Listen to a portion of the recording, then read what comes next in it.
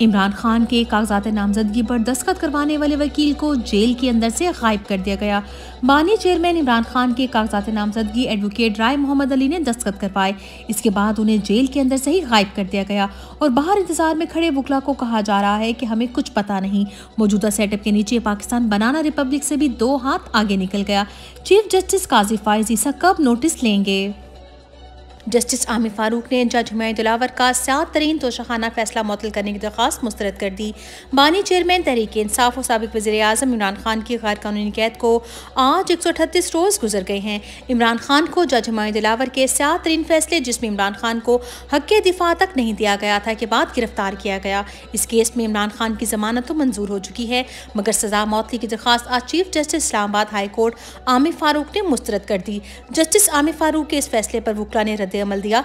एक तरफ़ दरखास्त पर 11 महीने तक फैसला नहीं दिया जाता और दूसरी तरफ़ कागजात नामजदगी से पहले दरखास्त खारिज कर दी जाती है ताकि इमरान खान की नाहली बरकरार रहे।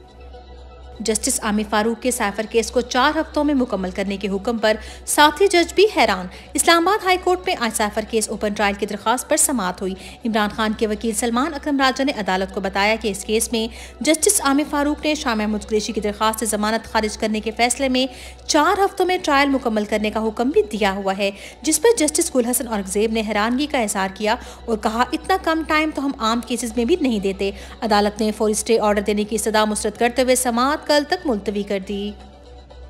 नवाज़ शरीफ ने अपने दो अंपायर्स खड़े किए हुए हैं।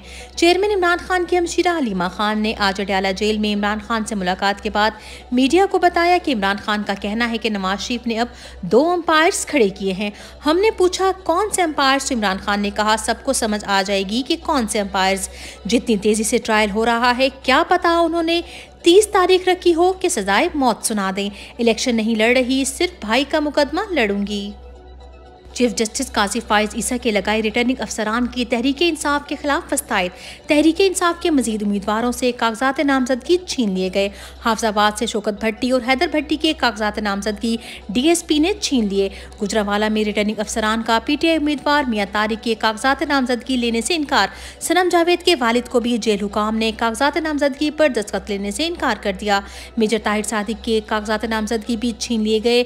जब उनके अहल खाना रिटर्निंग अफसरान के दफ्तर पहुँच पहुँचे तो डिप्टी कमिश्नर पहले ही दफ्तर से भाग चुके थे। सियालकोट कागजात नामजदगी जमा करवाने वाले उम्मीदवार को पुलिस घसीटते हुए ले गई। गुजरात में भी रिटर्निंग अफसरान का कागजात नामजदगी लेने से इनकार। मुल्क भर के हलकों में तहरीक इंसाफ उम्मीदवारों के खिलाफ वस्तायत के रिकॉर्ड्स तोड़े जा रहे हैं। तहरीक इंसाफ कागजात नामजदगी छीनने और लेवल प्लेइंग फ़ील्ड ना मिलने पर सुप्रीम कोर्ट पहुँच गई। पीटीआई ने लेवल प्लेइंग फ़ील्ड और शफाफ इंतबात के लिए सुप्रीम कोर्ट से रजू कर लिया। कायम कायम चेयरमैन पीटीआई गोहर अली खान ने दरख्वास्त दायर कर दी, जबकि एडवोकेट शुएब शाहीन ने भी इलेक्शन कमीशन के सामने मामला रख दिया। बैरिस्टर गोहर ने मीडिया से गुफ्तु में कहा कि इमरान खान की अब तक कोई नाअहली नहीं हुई। इनशाला इमरान खान इंतबात में हिस्सा लेंगे। अवाम के हकूक की जंग लड़ रहे हैं। अदालत से इंसाफ की उम्मीद है। नून लीग के मुखालिफ पीटीआई उम्मीदवारों को गिरफ़्तार करने का सिलसिला जारी। मुस्लिम लीग नून के उम्मीदवारों के मुकाबले में पीपल्स पार्टी के उम्मीदवार को पीटीआई को उम्मीदवार समझकर गिरफ़्तार कर लिया गया। इम्तियाज़ चौधरी नौशहरा वर्का तितले आली पीपी सड़सठ के लिए कागजात की वसूली के लिए गए तो पुलिस ने पकड़ लिया। ताल्लुक पीपल्स पार्टी से बताने पर छोड़ दिया गया। बलोच वजी अजम बलोच चीफ जस्टिस के होते हुए पुरमन बलोच मुजाहरीन पर तशद गुजशत रात सख्त सर्दी में अपने प्यारों की गैर कानूनी हिरासत से बाजियाबी के लिए पुरअमन मार्च करने वाले निहत्ते मजलूम बलोचों के जख्मों पर मरम रखने के बजाय आँसू, गैस, वाटर कैनन लाठी चार्ज और तशद का इस्तेमाल किया गया।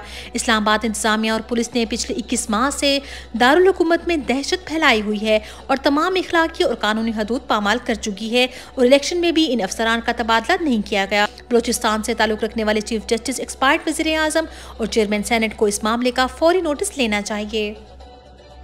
हमाद अजहर के घर नकाबपोश एहलकारों का हमला, बूढ़ी वालदा को डराया।